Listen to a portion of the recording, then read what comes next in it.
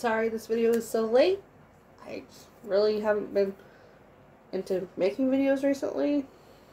My mind's been like, no, don't think the ideas kind of thing.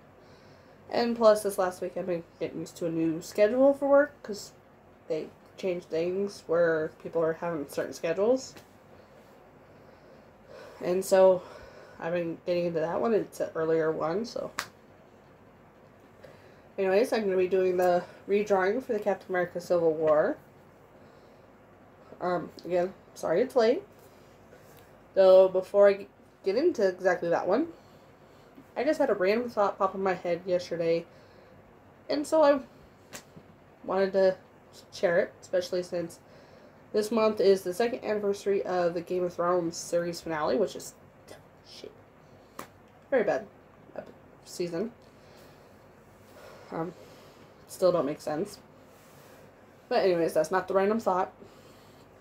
The random thought actually involves Rhaegar and Lyanna.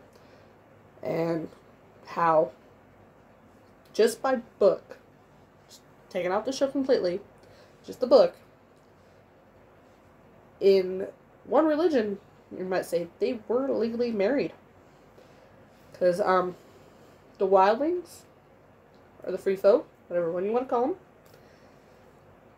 Rhaegar took like Lyanna, whether by force or by her will.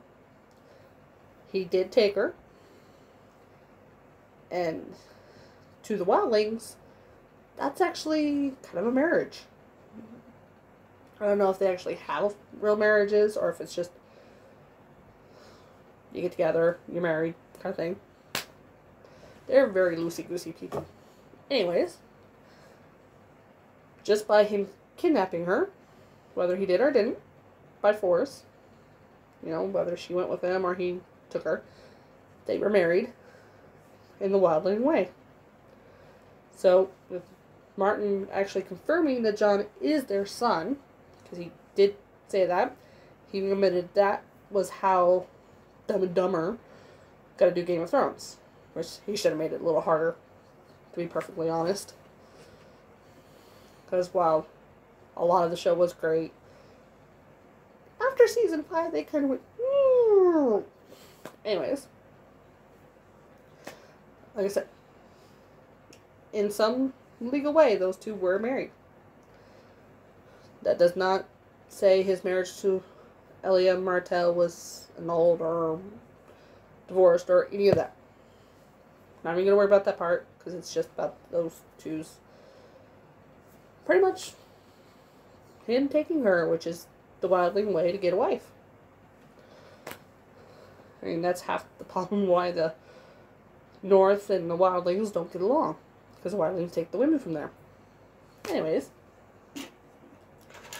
On to Captain America.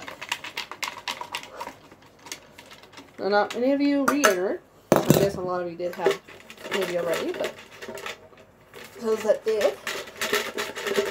And the winner is Dog Kid. Congrats. You know what to do? Contact me on Instagram, SafiraBlue25. You got 48 hours. I am going to try to keep to that. I will see you guys then. Have a good night. Bye.